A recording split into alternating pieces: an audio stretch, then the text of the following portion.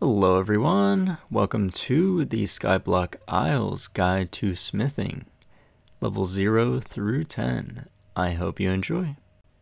Today we're going to be working in Morphmelo Tier 2 Adventures again, and we are going to want to do the Bronze Bar Smither quest and the Bronze Bar Smelter Adventure. So, let's get to it. If you have not already, I would recommend watching my mining guide first so that you can be prepared with all the ores to do the smithing section.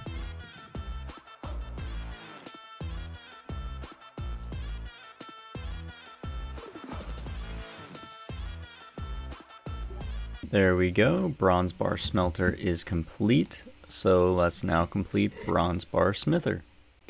I'm just going to make as many legs as I can because it uses the most amount of bars and it, the XP is based per bar.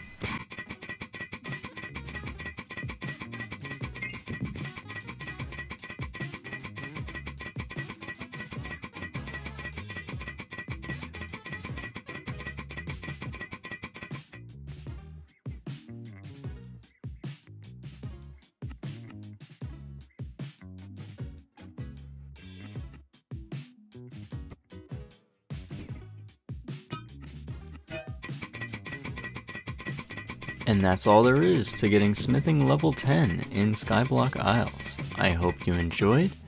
If you would like to further support me, there is a link down in the description below. If not, thank you so much for your viewership, and I hope you have a great day. Peace.